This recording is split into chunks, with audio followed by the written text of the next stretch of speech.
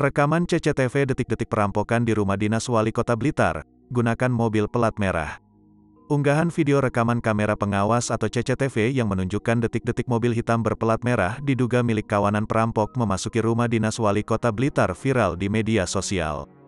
Video itu salah satunya diunggah oleh akun Instagram pada Selasa, tanggal 13 Desember tahun 2022.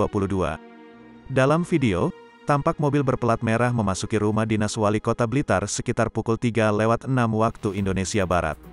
Mobil itu berhasil masuk usai penjaga rumah dinas membuka pintu gerbang tanpa curiga.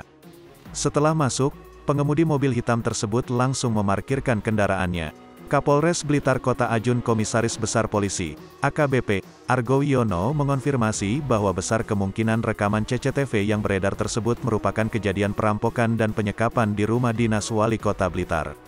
Hal itu berdasarkan waktu yang tertera dalam CCTV dan pemeriksaan saksi. Dari kesesuaian waktu dan hasil riksa, periksa, saksi, kemungkinan besar iya, kejadian perampokan dan penyekapan di rumah dinas wali kota Blitar, katanya. Rabu, tanggal 14 Desember tahun 2022.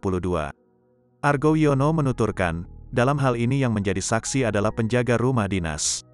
Sebelumnya, perampokan terjadi di rumah dinas wali kota Blitar, Jalan Sodanco Supriyadi, Kota Blitar, Jawa Timur, Senin, tanggal 12 Desember tahun 2022. Wali Kota Blitar Santoso bersama istrinya, Feti Wulandari dan tiga penjaga rumah sempat disekap oleh pelaku.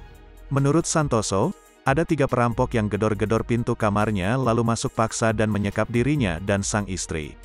Setelah itu para perampok menganiaya dirinya dan memaksa untuk menyerahkan uang tunai dan benda berharga di brankas.